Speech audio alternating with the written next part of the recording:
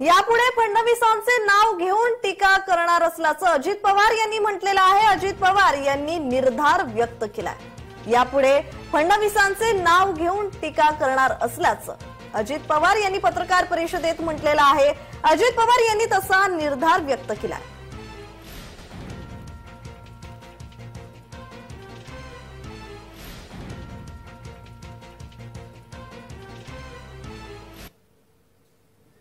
पुढच्या भाषणात देवेंद्र फडणवीसचं नाव घेऊन भाषण करतो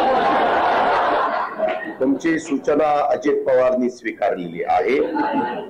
त्याचे पडसाद उद्याच्या नागपूरच्या जाहीर सभेत मला जर चान्स बोलण्याचा मिळाला तर जरूर आपल्याला आणि ते त्यांचं सोम मैदान आहे. त्याच्यावर तिथं ते जास्त चांगलं इफेक्टिव्ह